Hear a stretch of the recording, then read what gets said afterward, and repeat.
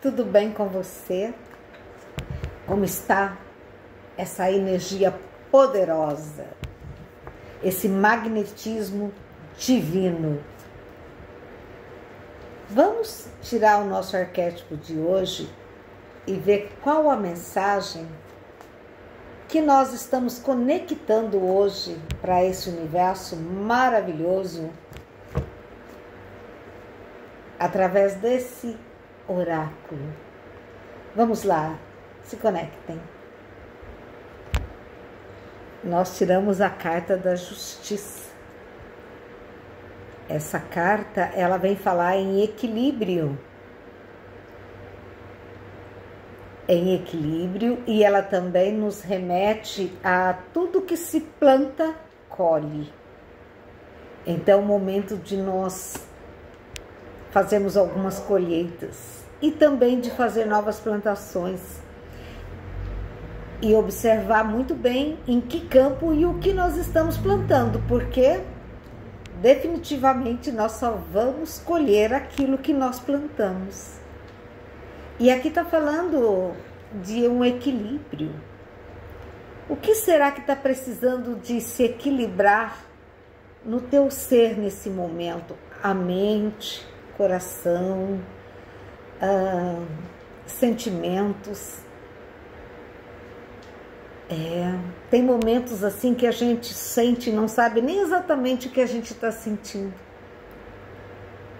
Então, momentos de nós plantarmos aquilo que nós queremos colher. Por exemplo, se nós plantarmos amor, se nós plantarmos confiança, fé, o que, que nós vamos estar colhendo nesse campo?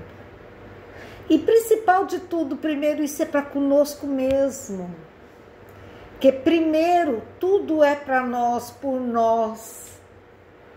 É, tá querendo fazer uma mudança, tá fazendo, querendo fazer algo novo, tá querendo conhecer alguém. O que você plantou? Porque agora é a hora da colheita. Mas será que algo não tá bom, não tá legal? O meu relacionamento, o meu trabalho, o que você plantou? Então comece a te observar, porque o momento agora é o momento dessa colheita e também o momento de uma nova plantação, sabendo-se que o que plantarmos é o que nós vamos colher, tá? Então aqui tá te dizendo assim, ó, Seja lá o que você estiver passando agora nesse momento, é, é momento de você se equilibrar, de olhar para si mesmo com muito amor, sem tanta cobrança, olhar para si mesmo e saber assim o ser divino que você é capaz de conseguir coisas inimagináveis e com tendências boas para o seu coração então, seja lá o que você está desejando agora. Aqui está falando que é um momento de equilíbrio e de colheita.